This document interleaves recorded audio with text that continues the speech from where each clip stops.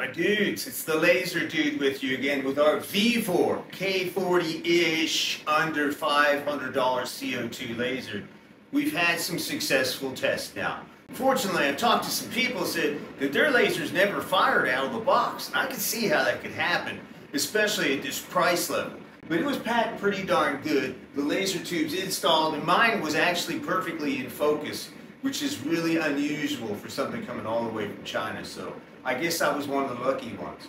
Their slogan is tough tools, half price. Some people say half quality, half price, but I don't know if I agree with that. So far, it's looking pretty good.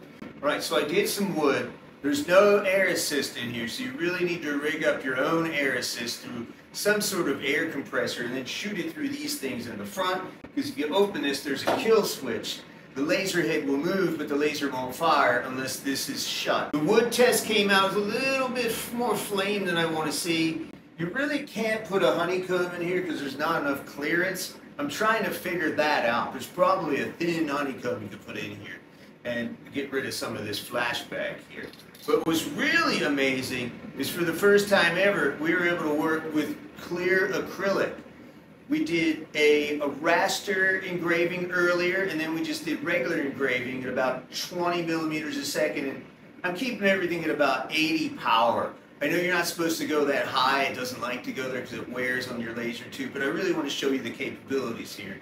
And it really doesn't do much under that. You can do it at 40 at a slower speed, but then you have some more flashback. So I really want to get that speed going and the power going so it goes through further so it doesn't burn or melt and I didn't have any flashback on this. And I was able to cut it. I did have to do three passes at 5 millimeters a second at 80 power for this 2.9-ish millimeter clear acrylic, but look how good that looks.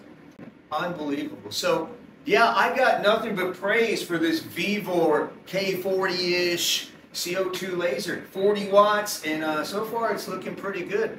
I still have to recommend it. But stay tuned and subscribe to this channel. And follow us here because I'm going to try a whole bunch of crazy stuff, including food on this Vevor. Stick around. You don't want to miss that. Laser Dude out.